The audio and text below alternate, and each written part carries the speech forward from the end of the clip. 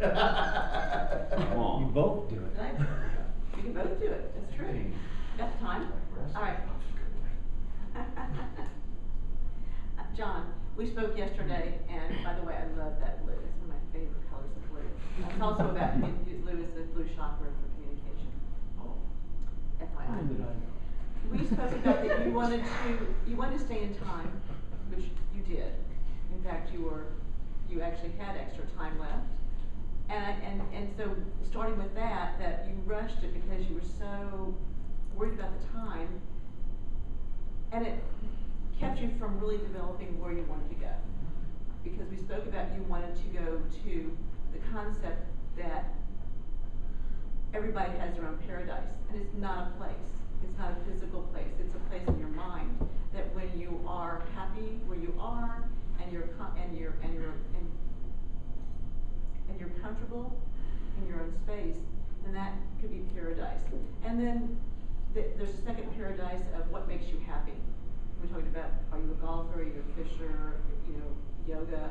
When you're doing something, also it's just doing something, but it's not a place and you were trying to get us to take that concept of Zihuatanejo that he had in his mind that kept, and, and that's what you did forget, is that what kept Red sane in a horrible place was in his mind, he was living in Zihuatanejo the whole time.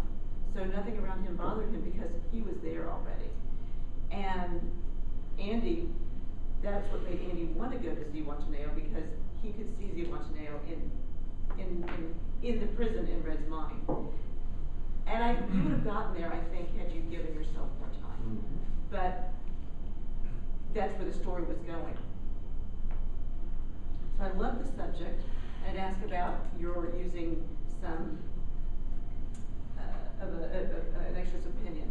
And you started off knowing, you know, where you were, going with the mind about Buddha talking about it's, it's, it's about being in your mind, that reality is really in your mind, it's not out there.